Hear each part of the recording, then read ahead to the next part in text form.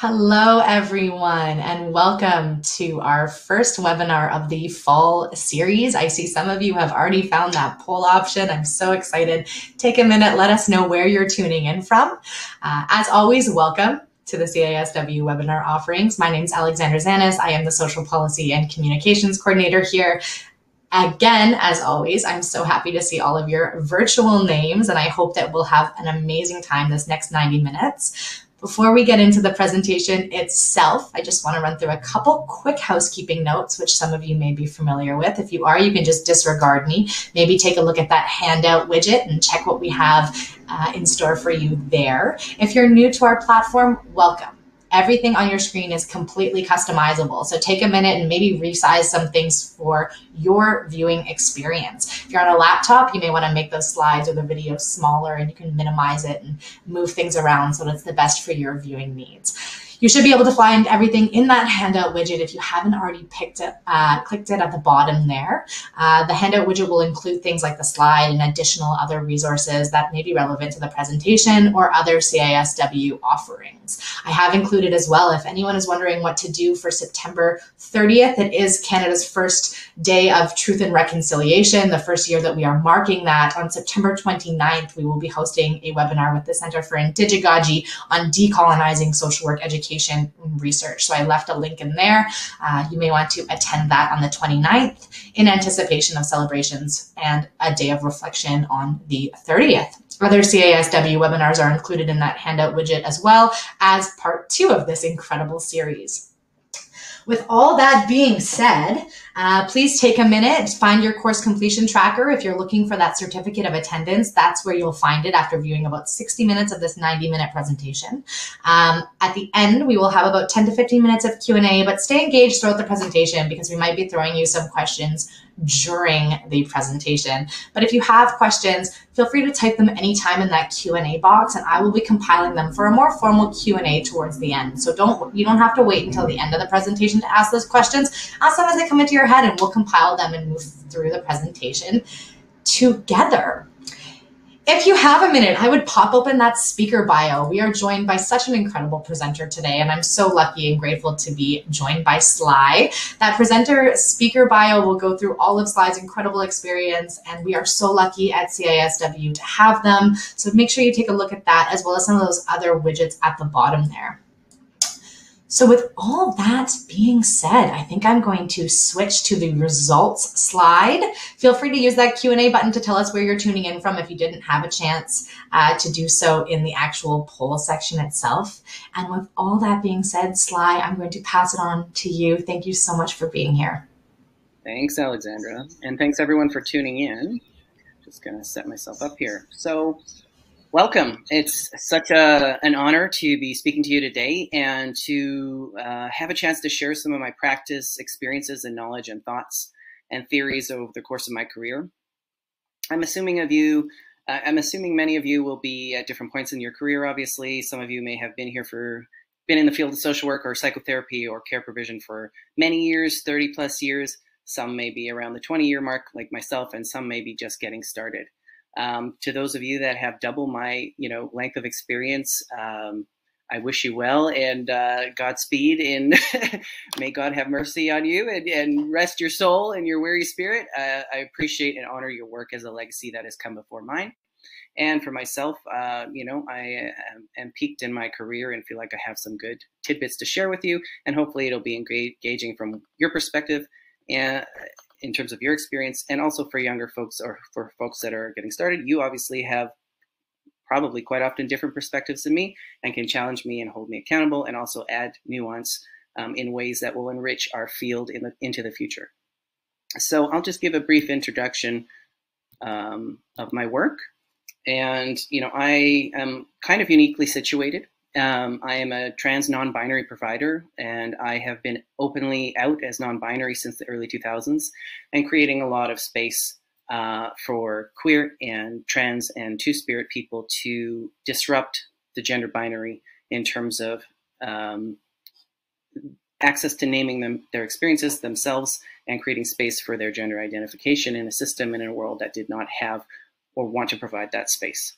So that's a part of my legacy and a portion of my work. And the rest is more focused on really, really hardcore grassroots, um, trauma informed, uh, frontline mental health work. Uh, so, working on the ground in Vancouver, in the downtown south and downtown east side, in various outreach roles with folks um, experiencing structural insecurity, poverty, homelessness, houselessness, um, you know, restricted access to, to the basics of life, and coping with complex trauma over generations.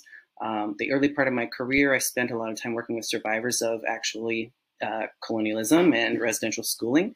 And so that was a, a, lot of what shaped my thinking about how to provide adequate and uh, accountable and robust mental health care. And it still colors my thinking today. So that's good. You're going to see that woven throughout. Um, the second half of my career, I moved to Toronto and I've been working more specifically um, around addictions, mental health, and trauma, and also just identity based mental health concerns. So, looking at the layers of how different people's identities and positionalities and lived experiences affect their mental health and color the reasons that they're seeking support in psychotherapy. So, the first half of my career is more around frontline care in various different roles on the ground, and the second half is more around psychotherapy and digging deeper and helping people manage the legacies of what they've been through and what they currently face. So that's what sort of colors my uh, thinking and my experience. Now, I'm going to move right along and just tell you about the overview for today. Um, so my goal and my hope, you know, an hour is not super long, but we'll see how the time goes um, and see how far we get. But um, yeah, my goal is to sort of really review how we look at mental health, um, how we conceptualize mental health, what have we inherited in terms of thinking about mental health, and the mental health system and systemic responses and how we view mental illness or disorder or um, presentations of issues that clients may come into our care in an institutional setting with um, or find themselves in our private practices um, and things that they're coping with.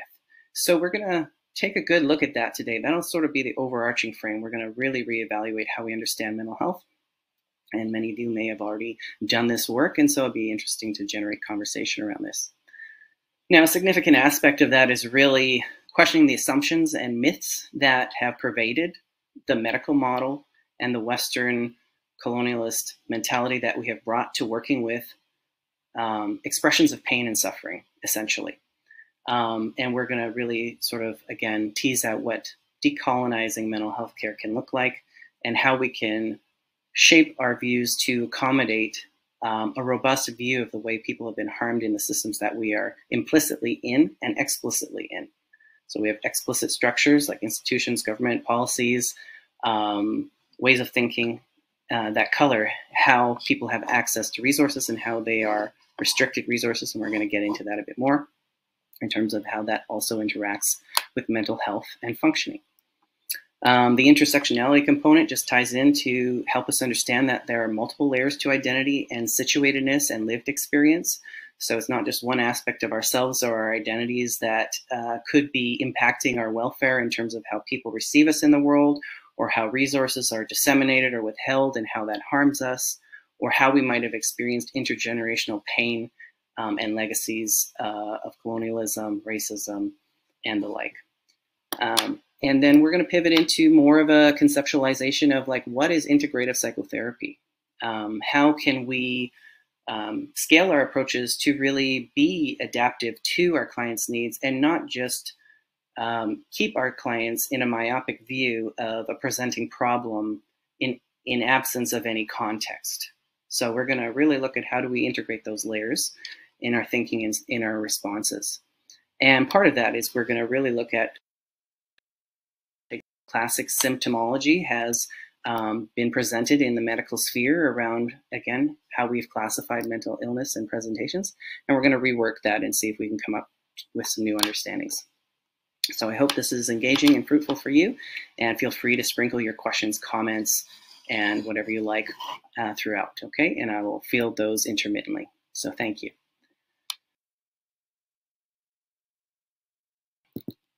In terms of some of the operating assumptions of the mental health systems that we find ourselves in in North America, um, in Turtle Island, and what have we inherited, you know, historically, and also what do we still find problematic in terms of supporting our clients. And the top things that come to mind from my perspective in my working history is this notion of, you know, um, presentations of symptoms are classified as a problem or an illness within the person.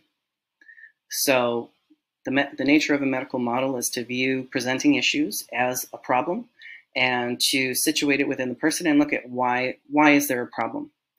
Um, and to diagnose it, classify it, study it, um, to remove it often from context, social context, so that we can standardize care, right? Um, and offer treatment.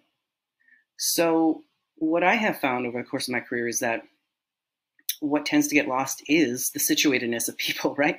Um, we have not really super factored in the lived realities and contexts of people when we're interacting with them in the mental health system through a medical model. So, for example, early in my career, I'd be working with folks who experienced intergenerational trauma, colonialism, residential schools, would be uh, experiencing a lot of distress, a lot of challenges coping, um, rightfully so, right? And the the task was to get them connected to a GP or a psychiatric team and to get them connected to medications. This was sort of the idea from the medical system, not necessarily from the frontline work we were doing, um, to get them connected, hooked up to meds, and then get them functioning better. And that is still sort of infused in our thinking about mental health care.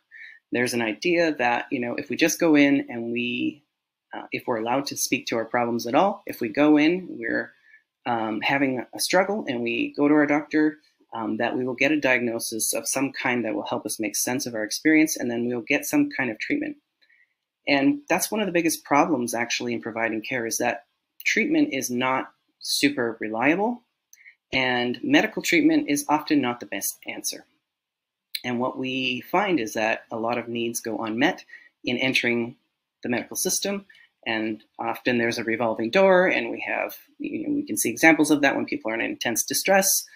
Um, our systems are failing them, and they end up in a revolving door situation, even when they're feeling very precarious in their health and mental health. Now, there might be differences across provinces and regions, but that's sort of the theme that I've noticed in my history. So, with that being said, with a medical model, there's also an over reliance on diagnosing things. Um, and my biggest critique of that is simply that yes, the DSM is helpful in that if it helps us identify patterns of functioning in a way in terms of cognitive um, experiences, how we're thinking, how we're um, processing information, how we're viewing ourselves, um, if it helps us um, look at the physiology of, of what we're experiencing and make sense of that, um, in terms of sleep wake patterns, energy, agitation, um, things that we can't readily explain and, and cannot pinpoint to, you know, a, a, present day trigger, for example, things that, that seem to be unwieldy for us, but may come on for us in terms of mental health symptoms. It can be helpful in that sense. Um, you can get a little bit of clarity on what you're dealing with in terms of what's happening in your body, what's happening in your mind, um, what's happening for you interpersonally. Um, but it's still heavily focused on the body mostly and brain chemistry mostly and the idea that medications um, and maybe some kind of formalized um, you know best practices in cognitive behavioral therapy will help you to change the way you think and then meds will improve your mood and then voila you'll be uh, on your road to recovery and i have found that it's much more complex than that and that our clients and us as people too also living in the system are often not getting the care that we need to move forward and work with what is happening for us. So I would say um, the best way to consider the medical model is that it helps us um, identify that there's a problem and that we need support, um, but that we cannot rely on it to explain away what is happening for us and that there are root causes, okay? The diagnosis is not the root cause, and we're going to get into that right now. Please let me know if you have any questions or thoughts as we go. So a lot of what is infusing the way that we have approached mental health care is this idea of individualism based in our capitalist structure, in our economic structure. We really expect that people function a certain way, that we have performance standards, that we work full time, even though we have a lot of employment precarity. But if, if we're working, we're working full time, we're working to the max. It's very difficult to take sick leaves. Um, often you're penalized for taking sick leaves, even in the medical profession as a medical provider or as a social worker, mental health worker.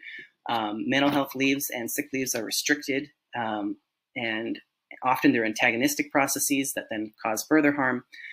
So we have these expectations, again, societally, culturally, and structurally embedded in that actually are antagonistic towards catering to, to supporting our mental health needs. Um, and we often blame the individual as a result. You can't keep up, you're not productive, you're not functional. So there's a lot of shame um, and, and, blame that gets infused in the narratives and stigma that we have and the actual responses that we receive from our employers, from HR, uh, from the, the, the culture and climate that we're in in general, good luck sharing with someone that you have a need to take a mental health break. How is that a conversation starter, right? So I'm just sort of peppering in my observations here around why it's challenging for us to actually hold space for each other when we're struggling and how can we shift that. And legacy of colonialism, this is a huge, huge factor. We have to do constant work, especially as white settlers, or any settlers on this land to really acknowledge and understand that genocide is actually not a project that ever ended. Okay, it, the genocide of indigenous peoples was started and began, or heavily was uh, happening during colonialism, um, and the methods for taking over this land and treating indigenous peoples uh, were to eradicate their presence and their cultural practices and families and, and communities um, and just systems. Um, and so, you know, residential schools have been happening into the 90s, as far as I recall. And there is a collective denialism around that. And suddenly, in this past year, we've had a little bit of an awakening, a, a little bit of a reckoning, but we still have not fully um, made efforts structurally to make right um, the harm that we've caused Indigenous communities in, in Turtle Island and and in Canada. So we have to always, as workers in this field, understand that this legacy plays out for folks in ways that affects their coping to this day. And a lot of folks may be first generation survivors of re residential schools, or their grandparents may be, or the, sorry, their parents may be. Um, so it's very much first generation, second generation in terms of that legacy of intergenerational trauma. And we're going to get into how that affects people momentarily in terms of you know, mental health and wellness and coping and surviving. Um, also, if we look at other aspects of, um, you know, whiteness and, and uh, superiority and supremacy, we also see that um, people of color, especially Black folks, experience a lot of violence when they interact with the mental health system and emergency services. So quite often, um, folks who are in distress actually will be seen as violent when they are not um, and will be reacted to with preemptive violence, as we've been seeing in the States and in Canada as well. We have a long history in Toronto of police shootings of people who are either um, brown or black or uh, experiencing complex trauma or even psychosis who are struggling, um, who, who experience um, violence at the hands of the mental health system, which is de facto the police in this case.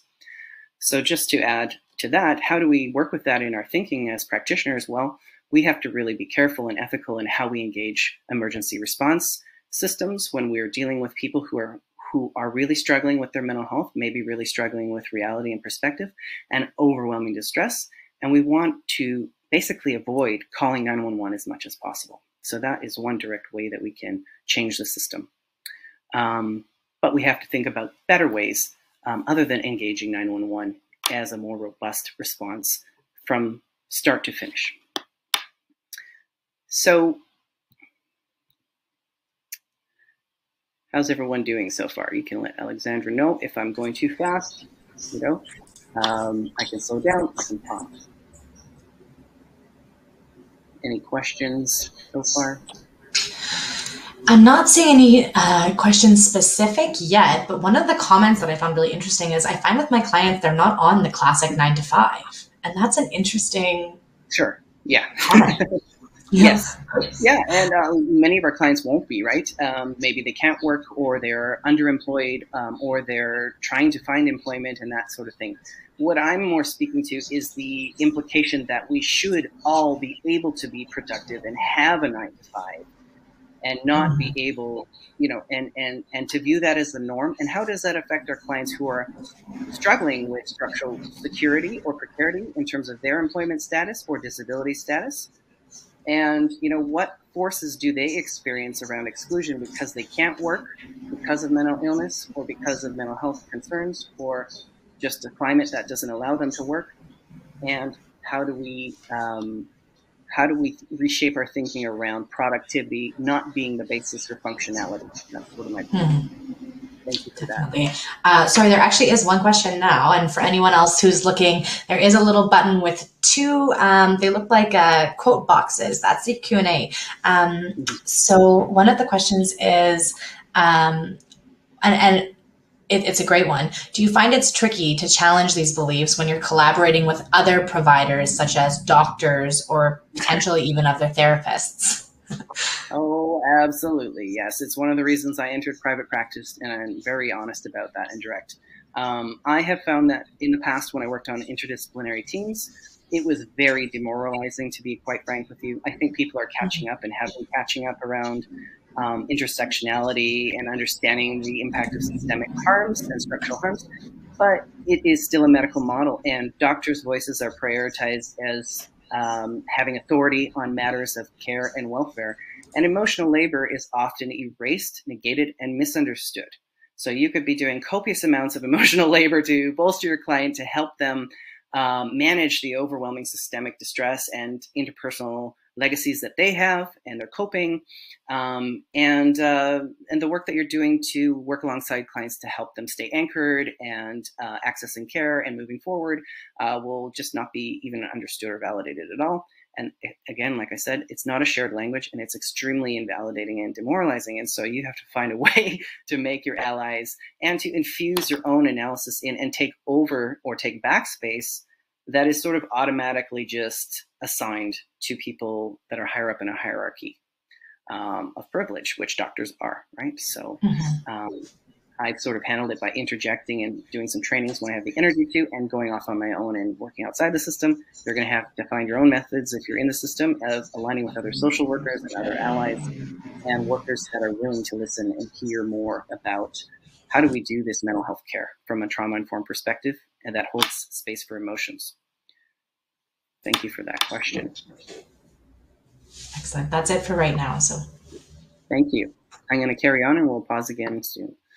Um, ableism and saneism. This is sort of like you know uh, throughout. It's it's just the it's sort of interwoven throughout how we understand mental health and mental illness. But the idea is that again, even as people who are suffering, let's say I have something I'm dealing with, maybe I'm experiencing a, bout of depression or um, just having a struggle functioning, when I'm thinking about myself, the idea of sanism and ableism permeating through here from our society, through our structures into individuals is that, you know, when we have clients at our door, the clients themselves have already internalized a lack of worth around functional impairments, if we call it that, or differences in when they're experiencing distress.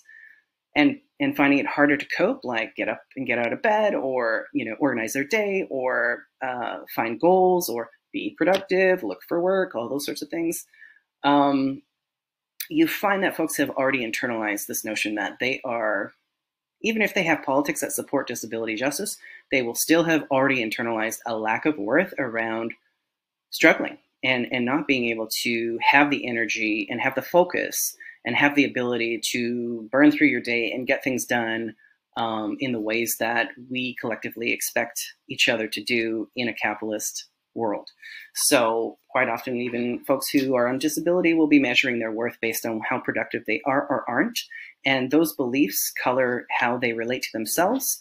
And that in turn will escalate per perhaps their distress, their isolation, how hard they are on themselves, and that is a lot of the work that we do is going in and sort of operating on that, if you will, is to help folks externalize and hold space for compassion for themselves in an ableist, sanist system that does not want to see people take breaks, that does not want to see people be aligned with their emotions and their physical needs. And that we all, you know, the, the belief there that I would like to shift is that we all have a collective responsibility to hold that compassionate space, whether we're care providers or not. And I'm hoping that societally we'll start to get there. Um, homophobia and transphobia, this is um, a nuanced piece because um, there's so many things to say about this, but I'll just give you a brief overview. That, and that is that, you know, queer and trans people, lesbian, gay, bi, pan, two spirit, what have you, the whole gamut of the alphabet, we have gone through waves of oppression that are horrendous, um, that have negated and tried to quell our existence. Um, and, and we have been persecuted, to be quite frank. And that legacy of persecution uh, based in fear of our sexuality, our preferences, our romantic orientation, our gender identities, um, that has a, a, tremendous legacy that is different than other legacies in the sense that we have been often of a certain age and time and place. Some of us will have less experiences of this, and some of us will have more, depending on our age and location and identity and other factors. But depending on your time and age and place of birth and rearing and, and where you came up, um, you will have experienced maybe identity disruption, identity loss. You were not allowed to claim your sense of self in terms of who you were, who you were attracted to, uh, how you understood your preferences in the world in terms of gendered ideas of how you should be. Um, and many of us are still recovering from this process, particularly trans people and two spirit people and particularly non-binary trans people because we have been erased historically and that is directly tied to colonial ideals of binary gender being the most appropriate gender. So we are just now recovering ourselves from this and I am a living uh, example of this as are many others. And so when we're working with folks, we have to be very clear and aware and do a lot of exploring in our own lives around if you're not queer or trans or gay or bi or whatever, is to really understand this disproportionate legacy of persecution of our identities, how it's disrupted our sense of self, um, our ability to be accepted by our peers from an early age, familial loss and being cast out from a young age quite often, right? In our teens, having to find and self parent ourselves, even structurally from a young age. And also to try and claim ourselves in a broader society that did not want us to exist, and the levels of violence that that um, that folks have endured in order to claim themselves and still find meaning and still live a life that's worth living. So that's a lot to grapple with, and there's layers of family trauma connected to societal beliefs that then we inherit when we have our attachments to our caregivers disrupted for being cast out for those beliefs. Um, and then we have to look at how how we've claimed spaces for ourselves and what has been that process of reclamation, reclaiming ourselves from persecution and erasure. So that's something to be aware of. Now, if your client is not bringing that to you as the topic of conversation, obviously you don't have to make it the topic. I hope that's clear. Um, but you know, all of what I'm trying to to cultivate with you folks is the idea that the more we investigate and the, the more curious we are around how people have been harmed, right? Through systems, through beliefs, through attitudes, through reactions, through our relationships to our family members, peers, and each other, we're going to have a lot more information to help people sort out and sift through where have they been harmed, how have they been injured psychologically, socially, emotionally, and structurally, and what can we do with them to work around this, to grieve this, to name it, to move through it, to hold them steady, and to find more resources socially for themselves to build more strength to carry forward in a way that feels best for them. Any comments on that piece by any chance? Yes, we definitely have some commentary, so I will dive into this if you don't mind. Mm-hmm. One of the, well, one of the comments I'll just say uh, to get off the bat is thank you for that. Working with health authorities can definitely be challenging in this area within the biomedical preference to engage, a uh, biomedical preference versus engagement. Um. So that's just a little comment there. Uh, in mm-hmm. terms of a actual question, uh, this one is a great question, and I appreciate for all those asking questions that are you know difficult to ask. But do do you believe that white therapists are in a position to provide new or even corrective experience for clients who have potentially been marginalized uh, by theories of racial superiority? Mm-hmm. I mean, that's a fantastic question. And I think that the client decides, right? Unfortunately, if you're in a system, the client may not have, like if you're in an institutional system and there's only so many resources and you're a, a white social worker or a white therapist, um, and the client doesn't have a choice and they're assigned to you, well, that's that's that's shitty actually right because you want to mm-hmm. give people the choice but i think if you're in an institutional setting the best you can do is your due diligence which is to educate yourself around your relationship to colonialism your relationship to white supremacy your relationship to anti-black racism and all aspects of racism for different peoples of color and to and to constantly do that self-reflexive work so that when you're meeting with a client you've already done that labor so that they don't have to question or they will regardless of course because trust and safety building is involved but they don't have to guess whether or not you've ever thought of something that has dramatically affected their lives so much if you have not thought about oppression structural oppression colonialism racism and whatnot then then i agree you probably should not be working with folks of color who have experienced these things because you're absolutely going to do more harm than good. That's my, you know, that's my biased opinion. Um, I think we should be knowledgeable in what we're supporting folks around before we offer that, and we have to be very humble and let them choose us and be very clear about that. I'm here to be an ally and to do my own labor and contribute to this process with you so I can offer you empathy and care and understanding and hold space with you while checking my power and privilege as much as possible. But ultimately, if this doesn't work for you, I need to hear from you and let's find another alternative. In private practice, it's a lot easier because folks have already vetted you. So they will come to you because they already know that you have, an, uh, you know, um, you know, through the through the telephone line or whatever, they they will have already understood that you've done a certain work a certain way, and people have benefited, and they trust you enough to come. And that's, of course, you have something to offer. I have my own intergenerational legacies and my own experiences to offer, and if it's working for folks, it's working. So that's that's what I would say to that. Yeah, I love that. Let the client choose. Um, and just an FYI to everyone that once you submit your questions, only us, only the present presentation team can see them. So please do feel free to ask the questions that are on your head. So thank you for that one. Uh, one of the one of the comments as well here is to check your bias all the time in order to understand yeah, and I mean, I think the operating, the operating assumption that I have is that I don't know what people's experiences are, but I try to do advanced labor to try and know, and to try and be curious, so that I can imagine what that might be like, even though I won't know what it's like. Um, and that's how I try to create knowledge and awareness and empathy to ask the right questions and hold that space with care and not uh, re-inflict harm. Amazing. Uh, Sly, do you have time for one more question? Yeah, sure. Okay.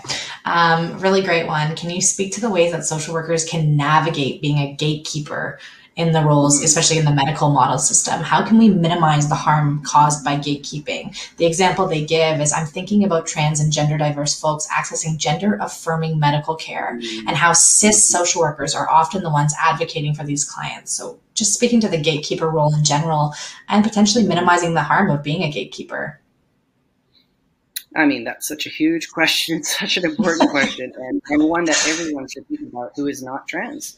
Um, you know, because um, that is a huge legacy unto itself that has only recently been disrupted, and I have and others have been a part of that disruption of um, making space for trans and non-binary people to access the care that they need. And um, but even five years ago, um, I would be giving trainings, and I would have social workers that were known to be, or psychotherapists in institutional settings, that were known to be advocates uh, locally through through colleagues um, for trans on behalf of trans clients, and even they espouse beliefs in my trainings that I was shocked by, um, like trans clients don't know what their gender identity is, that they are de facto the gender they were born with, that, you know, they're mutilating their body, like all sorts of garbage.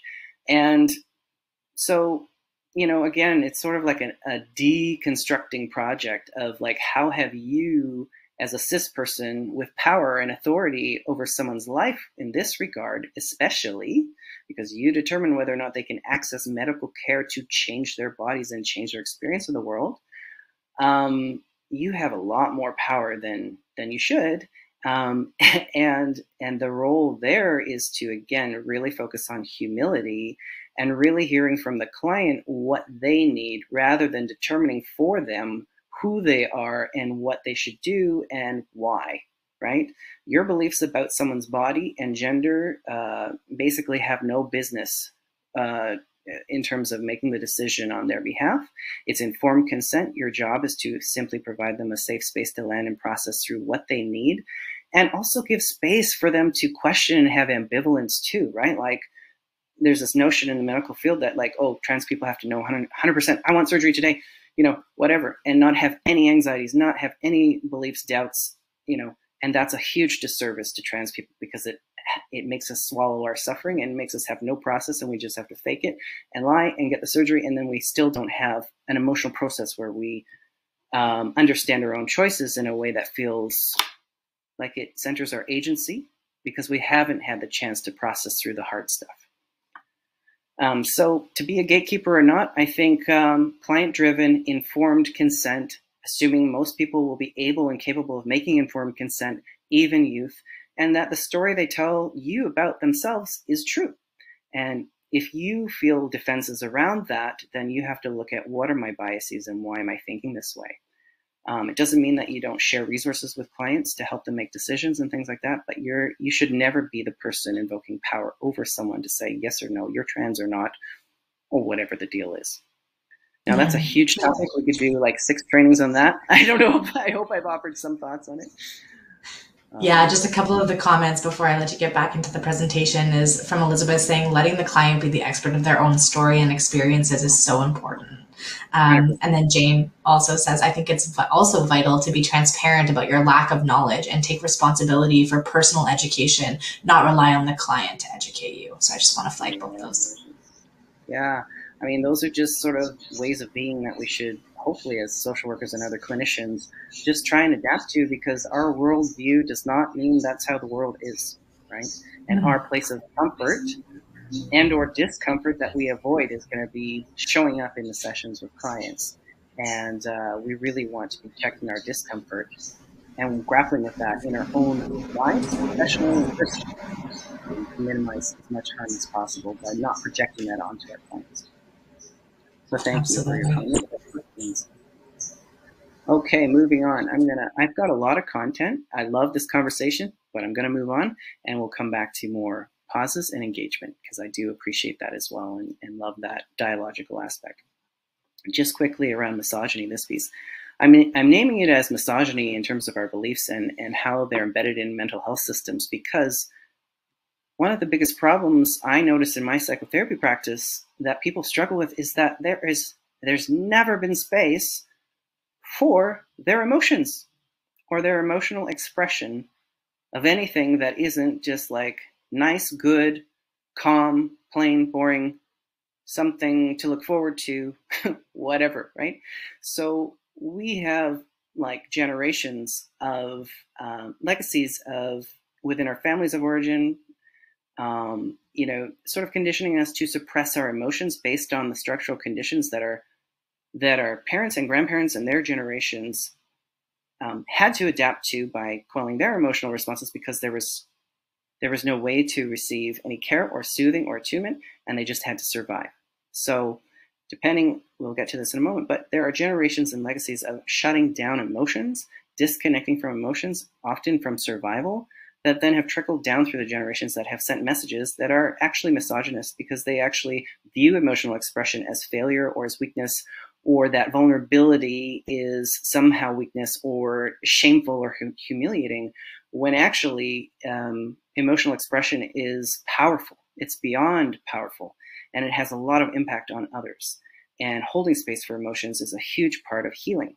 So if we're doing work with folks, especially in psychotherapy, but also in any other clinical setting, and we don't hold space for emotions, we have to check why we're doing that. Like, why are we trying to fix something without providing space for emotions? and connecting to feelings and offering that empathy. And we might have our own legacies of feeling uncomfortable providing that emotional space, and that is our work to do as well. But um, it is a key component. And the other piece to that is that we have to be very careful because our clients maybe have never had the opportunity to develop skills to actually just hold space for their emotions. Maybe some have, of course, but I found across the board this has been missing for folks. They have not had the care to like settle into what they're truly feeling that isn't just positive, that is a harder emotion or more distressing, and to have that reciprocity in relationhood to be received with care and not be fixed or erased or to move on to the next best, you know, move on to the bright part of your day. And this I find is a huge problem with us collectively and how we relate to people, whether it be professionally or interpersonally in the world. And we need to work on creating that space for each other because that is actually where we find healing. And we have a lot of feelings about that, I'm sure.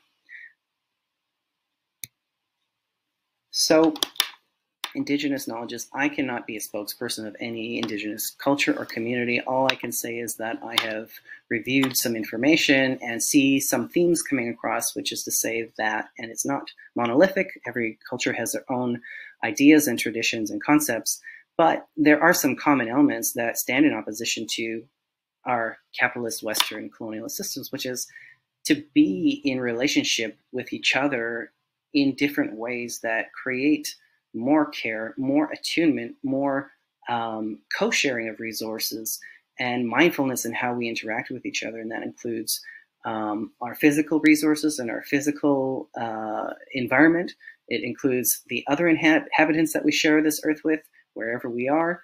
Um, and it includes each other in our families, in our communities, in broader society, and how we interact with each other.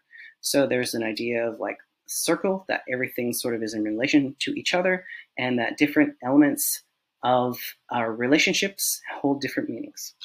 And as I said, that's just a broader concept, but the idea is that actually it is a total holistic view of wellness of person in relation to people in relation to broader environment.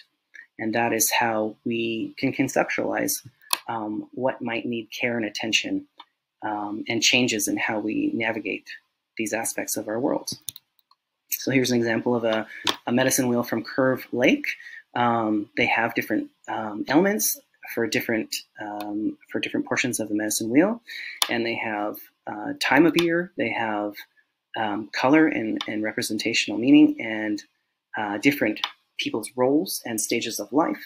Um, they have different animals and plants and uh, regions. So in each quadrant, and I, I am not trained in this particular medicine wheel, but I will say I, looking at it, uh, would be curious to know what the meaning is and what is the symbolic reference, and also what are the teachings and values embedded in each reference, and how do I relate to that?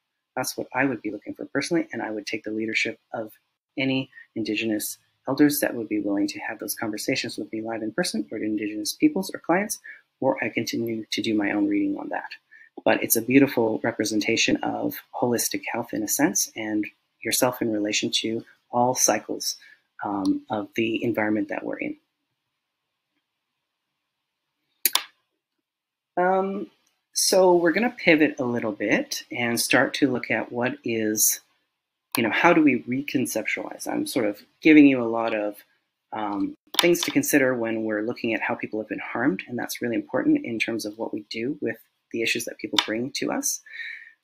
But the whole idea is that we want to really shift this idea of like it's the individual person um, disconnected from their environment. It's just that one person, and they have somehow failed to compensate for whatever is troubling them in their lives, and and they must bear the burdens of that. So we we see that when we are working, especially in institutional settings, we see clients coming in for social work, for case management, for medical care, for psych psychiatry, and you know when we finally see them, they have been failed over the course of their lifetimes in terms of the co-elements that would provide or could provide balance and harmony to create wellness and welfare. So we, you know, folks have been um, isolated over the course of their lifetimes and given the burden of holding up their own survival uh, disconnected from each other with overwhelming legacies, and they've been coping the ways that they have tried uh, their best to do. I'm talking about sort of a more extreme presentation of like, you know, folks that might end up more in permanent sort of state of housing, houselessness, or difficulties there, or just have complex legacies of trauma that really make it hard for them to, you know, stabilize their housing or make relationships or manage their mental health. Um, folks that are at that phase in in their survival mode, they um, they've already had legacies of being left alone with the problem the problems that they have been given from society and, and the imbalances in society and, and uh, due to structural oppressions. So this has created a lot of fragmentation and a lot of isolation. But when we do see folks, we can still do really good work and help them connect back to themselves and hold space for themselves differently and interact with other people and build trust and safety and the like. So a key question here is what actually has been out of balance? If we're going to really look at mental health as a whole system of how we relate to systems and people and each other, um, we have to look at what has been out of balance resource wise, what has been out of balance in terms of safety and belonging, what has been out of balance in terms of ability to self actualize, opportunities for you know abundance um, and welfare, and yeah, where have we uh, experienced disparities that have created harm that then people show up in distress with? Just going to take a pause. Any questions on that so far? Yes, it's it's a very engaged audience today. I am I'm so grateful for all of you and, and your incredible questions.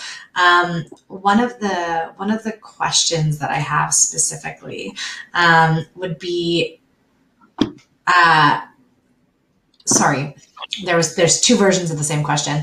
How comfortable are you with the silence? And I like that question because I think it's important in terms of speaking to some of the things yeah. we've been talking about. Sure. Yeah. And uh, that question is awesome because uh, one of my worst and first experiences in receiving mental health care was around silence. So I'll share with you just a tidbit of that, which was when I was in my early 20s and needed some support, I went to a psychologist. And I, this was in the early 2000s. I had no reference points for mental, for my own mental health in terms of like how we think of mental health. And what happened was is I paid her a lot of money to sit in an, a leather couch, and she sit, sat there and stared at me for an entire hour. And she was a tall woman, a serious looking woman, a woman that had more economic class than I did. And I had a lot of trauma. And I sat there and I was extremely off put and intimidated.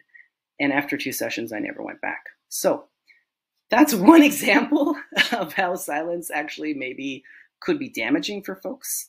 Um, at, in the extreme. And that is sort of like the classical ways that I have thought of psychotherapy in the past is like sitting in silence and letting the client do the talking. Now, again, like I said, that was super extreme and I found it super off putting. Now, sitting in silence could mean also, yeah, we shouldn't just problem solve everything to death. Maybe we just actually need to hold back from moving ahead and managing everything in the moment with the client. If we tend to do that, pull back, and really focus on listening so that we don't get ahead of ourselves in the process with the client. And we can come back to our own attunement with our own emotions as we're sitting there holding space for people and use that as again curious questioning or, or curious prompts for questioning once the silence has given the client enough time to digest their experience right? If it's meant to slow down and titrate overwhelm and give people breath to move into alignment somatically in that moment and they can tolerate it, that's something to actually be very conscious of how you use. And yeah, filling in this space might be counterproductive actually. It's really on balance. There's a whole, it's like a palette. You can choose, right? How you approach that. Yeah, that's a great point. And Jennifer says facial expressions can also matter when you're delivering care. So I would agree with that. As anyone who attends any of my webinars knows, I am very expressive. So uh, that's a comment. I wanted to just, I just want to give a quick little comment here um, before we continue to go into it. And it's that I've worked in a community for 30 plus years. Um, it is on reserve. And every single day, I still have to earn the trust of my clients Absolutely, absolutely. I respect and, that. Yeah. And yeah, and that takes a lot of heart from a provider and a personal standpoint to show up and be courageous and do that. But it's so important because what it does is it shows that you are constantly being accountable.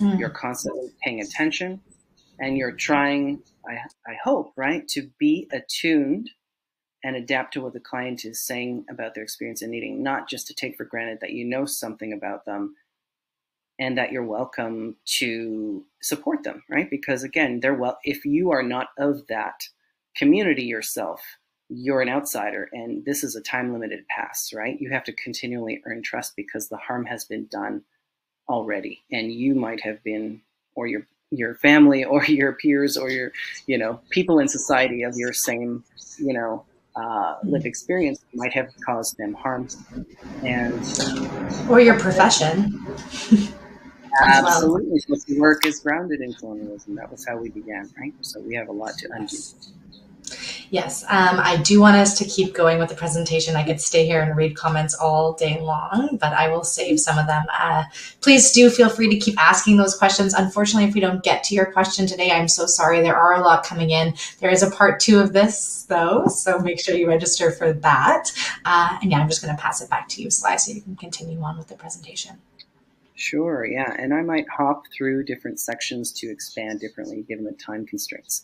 So, mm-hmm. trauma informed understandings, that's a component of integrative psychotherapy, um, in that trauma informed, you know, historically we have thought of trauma as a single incident, and uh, again, it's been a very medicalized psychiatric approach to trauma um, in that it's you know it's always been like some major catastrophe or like let's say war or being uh, you know an army veteran or being in a, a, a, catastrophic event of some kind. And that's how we have thought of post-traumatic stress as a disorder um, and how we have understood trauma. So trauma actually eh, the lack of understanding of complex trauma ha has been really harmful for folks um, who actually have broad experiences of harm that they've endured. And so trauma informed understanding simply acknowledge that there are generational impacts of violence um, and that um, you know if you are in a situation where you cannot escape and you are being harmed that that is also traumatic and you can look at this through many different perspectives and ways in society whether it be like stepping out your door and feeling like you're going to be perceived in a way that people are going to be hostile towards you.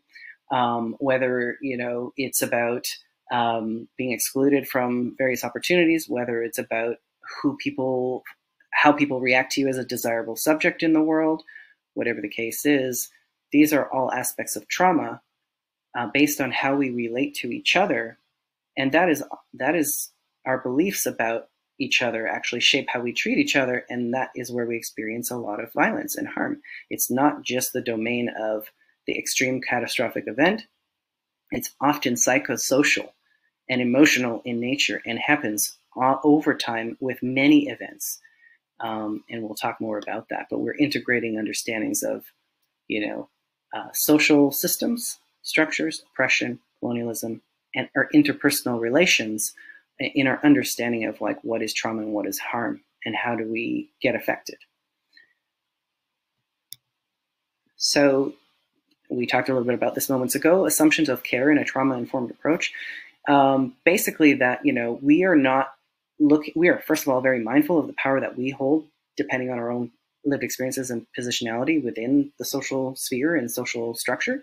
Um, we have to be, uh, as with the, the previous comment, very, very mindful and humble and like very much using our power for good and being very aware that we have power to use and that that shapes our interactions. And we have to be always trying to usurp that power in the dynamics with clients while not diminishing the fact that we have it. So that's a balancing act and, and takes a lot of skill. Um, but it's a wonderful thing to offer clients because it actually vulnerabilizes you in many ways to serving their needs and to serving them, um, and um, creates a level playing field. Even though you know, um, even though it's still in many ways transactional based on the system, but the idea is that you will give your power over to the client as much as possible and use the power for good and and and use your resource access to benefit them rather than restrict um, access for them. in terms of like um, our expectations of what we will achieve with folks or, or what space we want to hold with them, the idea is not that we help people cope or function better with what they're dealing with. That might be the client's goal, actually, and that's okay. We always want to respect and honor the client's goals. But if we zoom out again and have a systemic lens, we don't want to make it so that when clients come to us for uh, you know, holding space for any of their traumas or anything like this, that we expect them to just problem solve their way out of it and, and just function better. And I think the task is to really um, lay off the individualizing of functioning better you know there's been this whole discourse over the last 10 15 years around self-care right? And it's been it's come to the point where that term is probably triggering for trauma survivors right? Around this idea of like oh just self-care your way to you know not being in a constant state of grief and loss or whatever right? Not experiencing gender dysphoria or not experiencing anti-black racism every day and being in despair or what have you. And so you know so my point is that res- the focus on individual resiliency is actually adds more burdens for folks in terms of coping and functioning, and that is not the right approach.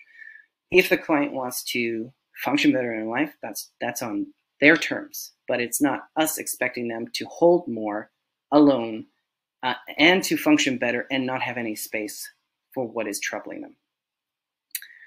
Um, we also we also have to keep in mind that when we're supporting people around trauma that you know no matter what layers and levels of harm that they have experienced underneath that is usually a relational wound like something has been disrupted or rendered inaccessible in terms of a relationship with a family member family of origin at large relationships with people in your own community um, relationships with people who, who you choose to be in relationship with in your adult life and your relationship with yourself. So unaddressed emotional harms that collectively there's been no space to hold are underneath a lot of the work that we're going to be doing with folks. And this is a very interesting ethical piece to manage with care is that we we need to hold space for people without plunging them deeply into their wounds. And that is where we actually hold a lot of power and a lot of discretion and need to develop a lot of skill. The idea, from my perspective, is to be aware that there are many emotional wounds, potentially, that people hold in themselves as a result of relational and structural harms, and that those wounds are likely underlying the, the thoughts and perspectives and beliefs that they find themselves struggled with when they're coming to therapy, for example or even for a case management session, those emotional wounds are going to be coloring their experience, how they're coping, and what you see in terms of whether it's depression or depressed mood or heightened anxiety or mixed traits um, or whatever their struggle is. It's often connected to unaddressed emotional wounds that at some point we have to understand as practitioners and gently weave in to help the client understand that there's something there to attune to, to give themselves some self compassion around, give back and externalize um, narratives that have harmed them, that have been given to them structurally and interpersonally, and to, you know, release um, a punitive stance with themselves. And that is when that that sort of stage of work happens after we've done a long period of building trust rapport and moving slowly and safely with people to hold space for them. Um, but it's just something to point out is that often when we have again presentations of illness, whether however we conceptualize it, there's usually long-standing emotional harms, and our clients often are unaware in the sense of they've been so gaslit and so invalidated about the harms that have been done to them. Um, that they just think that they have to try harder to not feel pain or grief. And it's not congruent to the immediate thing in their life, so they don't understand why they're feeling it for so long. And that's where we have a lot of work, care work to do to help people give themselves space and compassion to really process some of that. This is just, I'm going to move into um, a graph here. This is just for us to keep in mind that the legacies that we hold are very much affected by the context shaping our parents and grandparents' lives. So depending on your, you know, your life story, right, and your family's life story, um, and depending on what happened in your parents' context, social context, and what they endured and what they were coping with and managing, um, really shapes and affects you, and what their parents were enduring really shapes and affects um, their legacy. So basically, you are, as a person in the world right now, um, shaped by um, the time period in which your grandparents were children.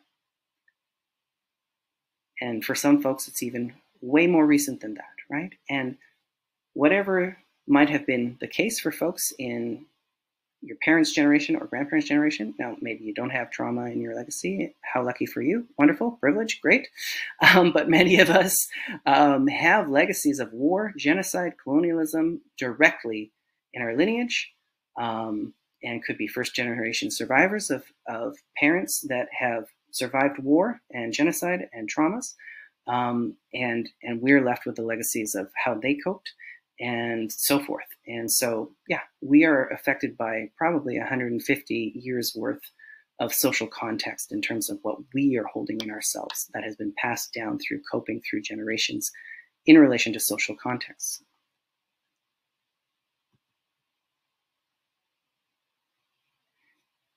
So my big question then is, you know, how do we conceptualize, you know, this idea of harms affecting us, right? If we're tasked with doing one-on-one work with folks, if we're doing psychotherapy, if we're doing any kind of supportive counseling that is mixed in with case management as well, it's going to come up in some ways. You know, what is the problem and what are we working with? And I always sort of maintain a split or many splits, but layers of observation, which is I work always with what the client brings to me as their stated concerns and issues and challenges. And that's the face to face level. That's on the surface. That's what they bring to me. That's what they know. And beyond that, I'm always thinking, you know, invisibly moving through that structural piece, the piece around oppression, colonialism, intergenerational trauma, familial legacies, whatever, and their own experiences in the world, moving around, right? As we talked about earlier, racism, homophobia, whatnot. Where might injuries occur based in the harms that people have faced? Is the injury in trusting others? Is the injury in the family of origin in terms of the relational dynamics with parents because they were struggling? Is the injury around self esteem and self worth because of societal devaluation of you as a person or your family or your group or class of people that you belong to or race or country of origin? Where does the injury occur? And how does it show up in your life? And again, the purpose is not to necessarily go straight into the wound, but it's to hold that in your being as a concept to go, there are probably reasons deeper than what the client is presenting to me that I can be somewhat curious about and attuned to to build some connection to the things that they share with me. So, for example, if they're sharing negative beliefs about themselves or the future or their capacities or what they're enduring, you're always looking for the links of where did they learn this about themselves. And often it will be a societal message passed down through families and then enacted upon your client. And it will also come full circle in when they leave their family environment, they will experience it in the world interpersonally and structurally. You know, people make up institutions, people make up government, people make up these structures that we have to navigate. So it's always something that people experience an attitude, a reaction, a, um, a lack of an opportunity, a negligence, a diminishment, or an overt aggressive harm or threat where people might have understood themselves to be less valued because of the devaluation in relation to others. So we want to be curious about where has the devaluation and or dehumanization or injury occurred in relationship to others?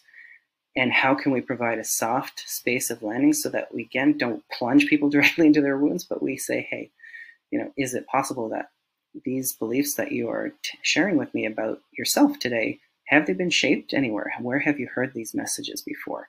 Because we want to get really conscious and compassionate with those messages to help folks offload some of that guilt and shame while still coping with it, right? Where do the wounds reside? Again, how are people harmed? Does it show up in their relationship with themselves internally? Does it show up in their critical voice? Does it show up in how they speak to themselves? Does it show up in how they relate to their own emotions or expectations of functioning? Um, does it show up in relationships where it's very challenging to be in a healthy dynamic, in a safe space with people? Does your client have challenges regulating their mood and then, then it comes out because they're experiencing triggers in their relationships in harmful ways that they are trying to navigate and, and reconcile?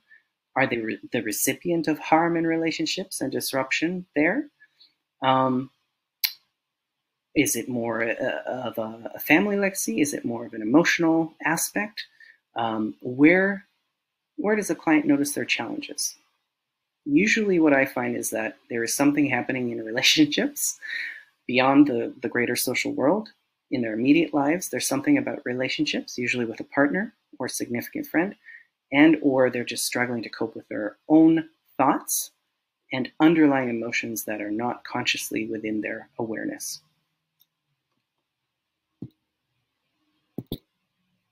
How do we cope with our wounds? I think, again, this is a question that I am asking us all to consider um, because when we, again, classically think about medical models of mental health and our stigmas around mental health and functioning, we have not viewed people as like trying their best to function and, and cope and thrive. And anything that we consider a mental uh, illness or diagnosis is actually just a manifestation of trying to cope.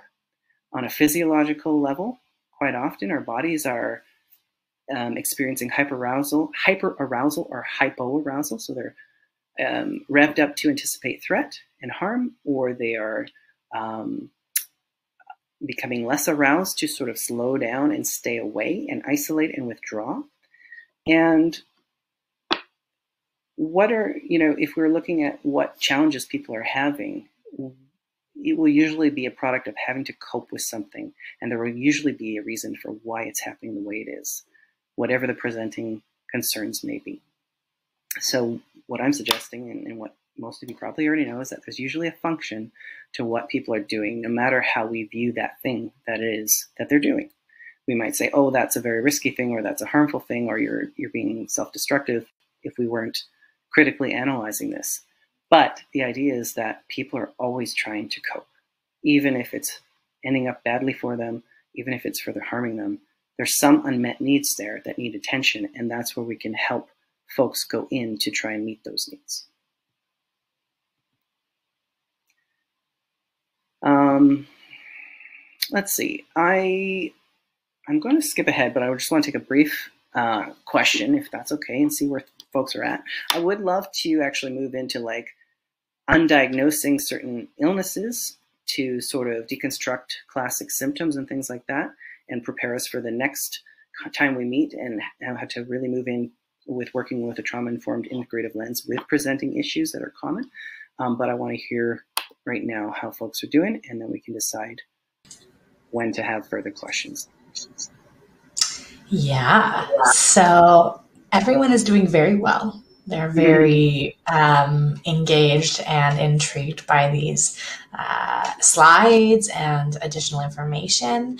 Um, one of the comments is definitely about building rapport uh, and building rapport before bridging into immediate therapy, which can sometimes be um, you know, it can sometimes be harmful, and especially for individuals that have collective cultures, etc. Um, but one of the questions is, what percentage of time do your clients actually relay the details of trauma uh, mm. versus focus only on the impact of it? Mm, that's a wonderful question.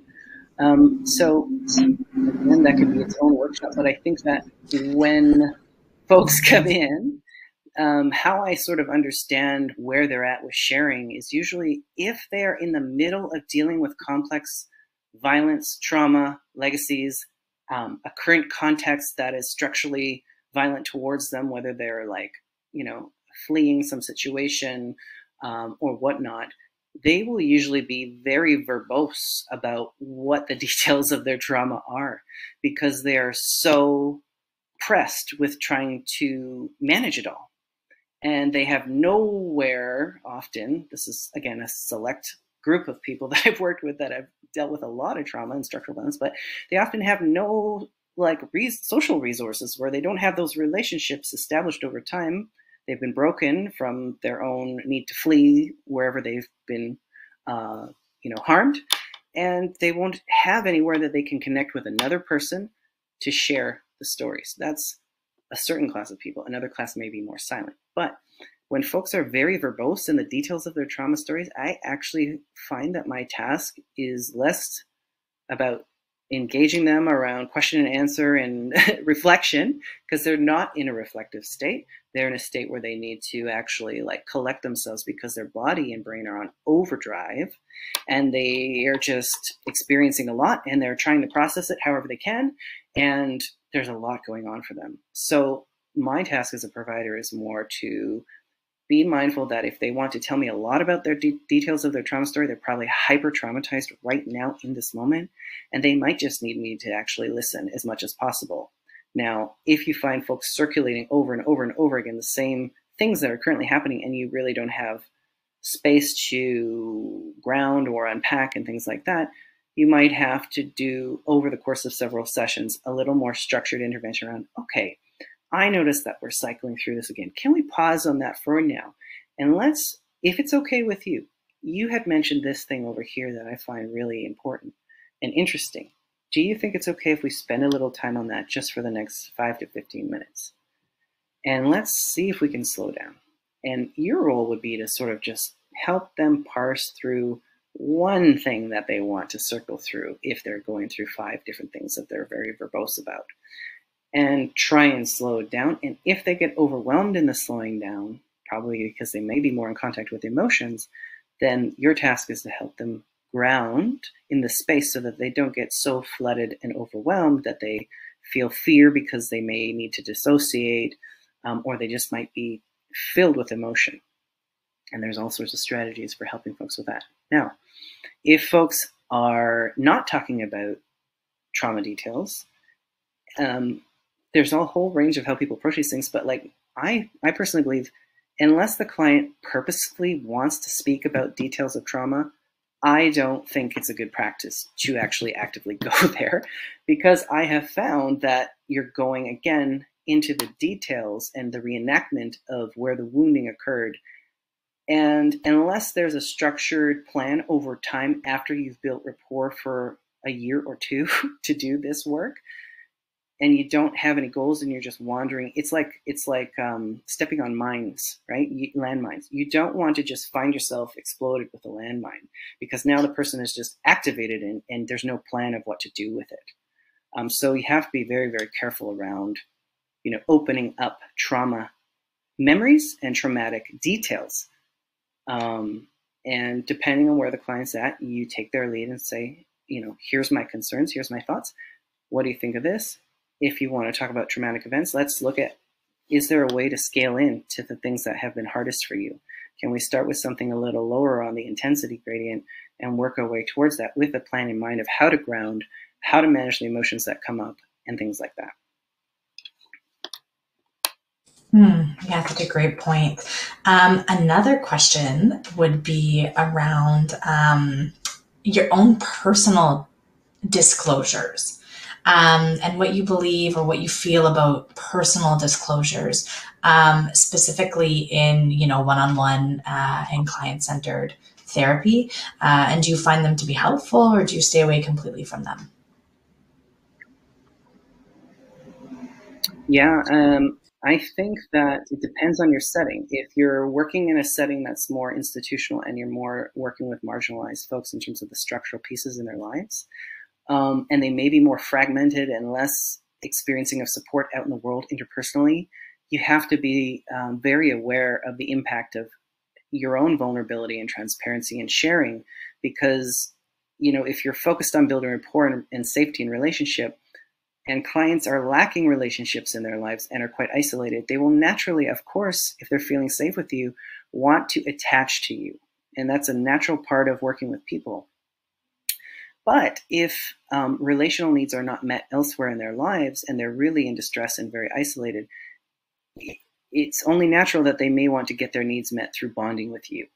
And that can be very precarious in terms of managing boundaries and clients' expectations of you and what you share. So if it's a situation like that, you have to be very careful to share actually minimally, unless it's maybe from a cultural standpoint relevant or from like, you know, an impression based standpoint relevant, obviously. And the idea is it's not so much about you and what your feelings are and what you've endured, but it's more like the context of knowing and transmitting a sense of like, these are the thoughts I have when I think about this thing. And what do you think about that? Does that resonate for you? And if you say, you know, if you want to be more direct around like, you know, how I was earlier in this presentation around, I had this experience, here's what it was, you know, be very clear around like, I'm sharing this directly because it's it's very hard to say in any other way. And are you okay with that? Is it okay if I give you a disclosure right now around this piece that you're bringing to me? I want to see if I understand you properly and then share and then use that as a generative platform to bring it back to the client and for them to engage with because often we actually understand ourselves better through how people share their understandings of their lives too, right?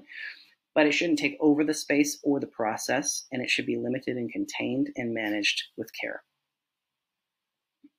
Mm, that's such a great point. Yes. Um, so I'm just having quite a few questions coming in as well about the certificate of attendance. That's that little check mark button at the bottom there. It's called a course completion tracker. Once you've hit that required viewing minutes, it may take a bit, but you should be able to download it directly from there or else check your email. Uh, sometimes it comes a little bit later in the email than when we um, end the webcast, but feel free to check there uh, or log back on at any time and you can download it directly from the platform. So we have about 15 minutes left of this scheduled um, presentation slide. You tell me, what, what are you thinking? We have questions for days or you can continue. Yeah, I mean, I think what I'd like to do is just go over one or two more slides, and then what we can do is I will actually use the rest of this presentation as the basis for our next conversation because it's going to take us to the same places we want to get to, um, and and and so be it. Um, and so, so for just, anyone uh, there, introduce. I'm sorry, just for anyone there. So there's a bit of a lag in our system, so sometimes we talk over one another. But for anyone else looking, there's a handout widget at the bottom there that you can register for part two or download the slides, etc., etc., in that little handout widget. Um, so I'm just going to flag that for you, and then yeah, go ahead, Sly. yeah, I guess um, I'll just end on the note of like, yeah, whatever folks have experienced in terms of harms in their lives is going to bleed through into their day to day experience and how they understand and relate to themselves. Now, we're going to get into a little bit more about like how attachment, rupture, and abuse in families of origin or neglect in families of origin lead to a rupture in like attunement with a caregiver and how that sets people up for um, relationships and stances with themselves that are more or less shame based and how we can work with that when they are coming to us because that is a very hard and difficult piece is when folks are finding their own internal voice very uh, self-punishing or their own behavioral choices seem to be leaning towards very self-punishing on purpose because they believe that they should be punished um, we want to be able to understand the legacy of that and why the relational stance with themselves is so punitive um, and we're going to connect that to different ways that that might manifest in terms of the classic diagnoses and how we can rethink that. But um, yeah, I will open it up to questions uh, in general, and we'll try and get as far as we can with with your curious questions. Excellent. Okay, and sorry for everyone. I'm flipping back between a couple different tabs I have open here, so just bear with me. Um, one of the ones that I really love, actually, it's it's a little bit of a comment, but I think it'll dovetail into some other questions. And as an Indigenous therapist, I often encourage non-Indigenous therapists to learn about our history in order to really understand their clients. I often open my knowledge base to my non Indigenous colleagues on how to work with Indigenous clients. This isn't really a question, rather just a point I wanted to share. So thank you. There's lots of learning out there, and I encourage everyone to partake in workshops to learn about this history and provide a culturally sensitive paradigm, especially with Indigenous clients. Thank you. Just to say that little note and, and, such a wonderful, generous offering to offer that to your your colleagues, right? Colleagues. Uh, you don't have to do that, but it's so generous that you do. You know, um, so that's that's such a gift. Um, but you know, for the rest of us, yeah, we shouldn't necessarily rely on on our Indigenous mm-hmm. colleagues or or our clients in that regard. But what a lovely offering, and yeah, there is a lot to understand, and, and that understanding of events is how we cultivate empathy. Right? We cannot cultivate mm-hmm. empathy if we are not curious to try and understand another situation. Excellent, excellent, yeah.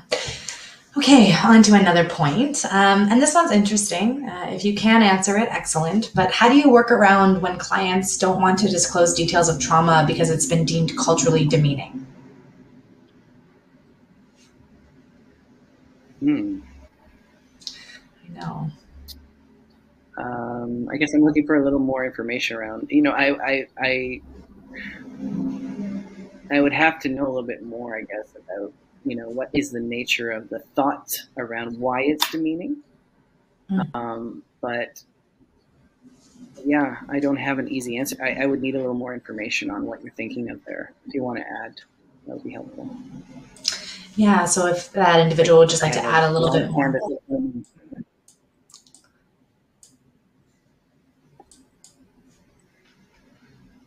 Yes. Um, it's it's true. It's interesting when when individuals are experiencing that kind of cultural, um, you know, uh, baggage that can come with the way that we respond to therapy or what we disclose or choose not to disclose. Um, I understand. I, I'm, I'm assuming that's kind of where that's going. Is there's there's a cultural feeling of um, like not wanting to disclose anything. But uh, anyways, I'll I'll await maybe some clarifications there. Mm. Okay, yeah, this is probably too big I of mean, a question. Can... Oh, sorry, go. No, go ahead. Yeah. Um, okay, this is probably too big of a question, but I'm wondering how we as social workers can reconcile our anti oppressive beliefs with the role of social workers collectively, especially in the ongoing colonization processes.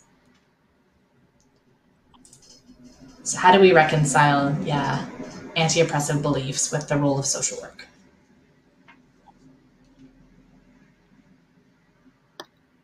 Um, so how do we actually disrupt the role and legacy of social work in terms of colonialism? I think is that the question. Like, how do we change the collective culture of social work? If that is the, yeah, mm-hmm. yeah. If that is the question, then I think that um, you know we have to just do what we're doing here and educate ourselves around, um, you know, where do we hold power as a profession and how is our professional culture shaped? Right? We actually have a lot of organizing we could do actually in the systems that we are in, and especially our professional regulatory system. And there have been many ways in which I have had to practice outside of the regulatory structure of social work in order to support clients to the best of my abilities and to meet their needs. And so we actually can do a lot of ag- advocacy within our own professional associations where we can meet and participate and be active participants and do trainings such as this, right? Like that we're doing here today and share our perspectives and start to create a different climate and culture that is interrogating the power structures and our roles within them. And uh, you know that's part of what I'm trying to do here today. And uh, we just have to be engaged in our own learning processes and see where we can make inroads with our colleagues um, and take the lead of what our clients are saying about our profession. Yeah, that's a great point. Okay, this is a good question. I always love when these questions come up. Um, how or what do you think social workers could do to create more awareness or advocacy for people who are living with either mental health illness, like mental health illness, um, or stigma that is facing them regarding, you know, priorities for treatment, healthcare services, the child welfare system? But how do social workers get more engaged? Yeah, I mean, if if you aren't already fully engaged, which I'm assuming many of you are, um, you know, I think the idea is that, you know, in a neoliberal funding structure and system politically, we always want to reduce services, right? And the whole idea there is that we're saving money. And I think social workers have a tremendous role politically and institutionally in disrupting that and in um, actually reorganizing and lobbying for the reorganizing of finances to support different modalities within communities um, for healing um, and resourcing and um, and to take it out of an emergency response system where our hospital systems find themselves trying to meet the needs of people with you know intergenerational and colonial based traumas and the, the service provision is not there right? It's not going to be in the emergency ward. And so what are the community based alternatives that we can support and divert our attention and our resources and our clout and our access to to mobilize to support because it's going to happen on the ground in communities and we could have a role there to play politically to advocate alongside folks for that if that's what they wish. Absolutely. And what I will say, um, you know, your professional association wants to hear from you what you're doing on the ground as well, because it does influence our advocacy at the national level. Uh, we do just have a new government, as many of you in Canada may know. We went through an election process that on Monday gave us a new government with hopefully a new mandate. So now would be the time for you to use all the channels you have to advocate for the kind of country that you want to see. Um, so I hope that you know if, if you don't know the ways already that you start looking into some other ways to advocate uh, be it municipally provincially or now federally uh, to ensure that we're trying to change those structural uh, barriers to what we're doing okay um, so this is an interesting question. What are some resources that you have um, that could help or point in the direct, or could you point them in the direction of those resources uh, for more trauma informed care uh, work? Um, I have linked through some resources in the PDF handout. There's a few there to get you started. Um, they do focus on uh, some Indigenous centric resources and um, and I can actually send you. I was going to send it to you in my next uh, workshop, but basically a list of authors who have contributed to trauma informed care and also who are coming from different positionalities and different perspectives and ways of approaching trauma, maybe informally in some sense, um, also from lived experiences. And you can work through that list. It's a list that I have found very helpful. Um, in addition to, and they're mostly authors that have really sort of added to the field. Um, and there's some links that I've provided in the PDF. But it's it's there's a ton of information. If you uh, Google Indigenous healing, Indigenous wellness, Indigenous mental health, um, truth and reconciliation, you will find tons and tons of information. Um, and yeah, trauma informed care, you will find tons of information. But I can send that author list out to you um, after this uh, call. Excellent. Yeah, um, and dovetailing maybe a little bit on that was given the systemic oppression at the base of so much trauma, do you feel it's our obligation as practitioners to engage in political uh, change that's geared towards greater social justice in our communities? I mean, uh, for me personally, it's never been a choice right? I have had to hmm. engage, otherwise I would not be here, and I would not be uh, here as a as a subject in in the world, and I would not be in the profession. So, I also feel that way about my clients. If I did not adapt, if I did not um, push the boundaries of care and create new ways of offering care that transform the system, they would be harmed actively, continuously. And I did not feel that was a moral choice.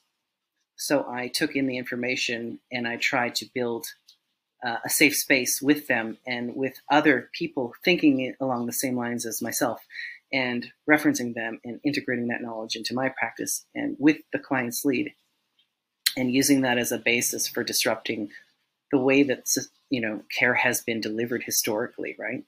So it's been it's not been a choice for me and i imagine that's the case for a lot of folks um, so yes, I believe it should be a choice, and you can decide how to engage.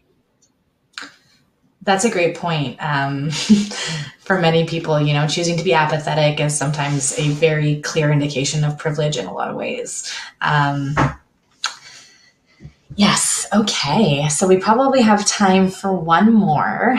Um, and just uh, an overarching thank you for this presentation and, and clear excitement um, clear excitement for part two. Uh, so thanks to everyone who was able to attend and read through and, and spend the next last hour with us. Um, the final question, and, and, it's both a both a question and almost a a, a comment. Um, it's do you believe, or in your experience, can psychological services in the medical setting collaborate to deliver a standard of care that could incorporate anti oppressive, indigenous, and culturally relevant person centered ways of knowing and being. And I've asked this because I've not witnessed such programs or delivery models.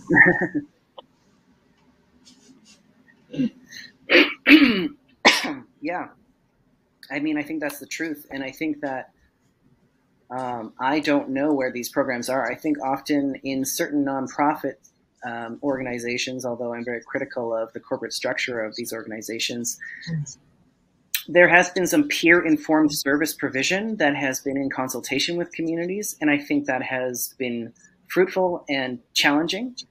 Um, and I think if it's driven by um, folks who are peers and in community, that is a great starting point. But um, I think the professional top down, you know, we've researched this thing and we've decided this is the best practice and here's the protocol and here's how we treat you approach is pervasive and maybe helpful in some sense, but not, I find it time and time again, it's not what people need. What people really need is safe space where they can relate to each other and interrupt cycles of harm and experience attunement. And that is the foundation for so much healing. So that would be in conversation with the community itself, in conversation with peers or a consultative, you know, cohort to establish uh, more appropriate programming, right? More culturally relevant programming. Excellent. Yeah. And I often say that um, social workers and social work tend to be at the front of these movements. So hopefully we continue to uh, develop a lot of courses and materials and, and new ways of knowing and being as, as we develop and, and move through the world. Um, I want to offer so much thanks to Sly for this incredible presentation. Uh, I am going to give you the final words here, but for anyone else wondering uh, about part two, you can find that in the handout section where you can also find the slides from this presentation and other uh, downloadables or handouts from the presentation, uh, as well as some other stuff in that widget system there. You can log back onto this webinar anytime, whether it's later today or in a week or in a month, uh, through the same links that were sent to you in your email. Uh, and just just be patient with that course completion tracker there. Um, we will pop in a Studio My Certificate button as well if there, there's some issues there, but just be patient with it. We have a lot of people on this call, so sometimes it takes a while to auto populate with your information, uh, but I will be checking, so don't worry, you will get your certificate of attendance if you're not getting it yet. Uh, and yes, just an, a huge thank you, Sly. Any final words before we end today? Thanks, Alexandra. Yeah, I'm so pleased to be here and to have you engage. And you know, I only got halfway through, so that's perfect. We'll we'll pick up next time, and I'll lead you through further sort of um, case conceptualization as it relates to these structural pieces and what does that look like in terms of integrative approaches to psychotherapy and to care. So thank you all for showing up. I hope you have a fantastic day. Stay safe, and I'll see you next month. Who knows? We might need a part three. Okay, bye Possible. everyone. I'm down for that. Have a good day.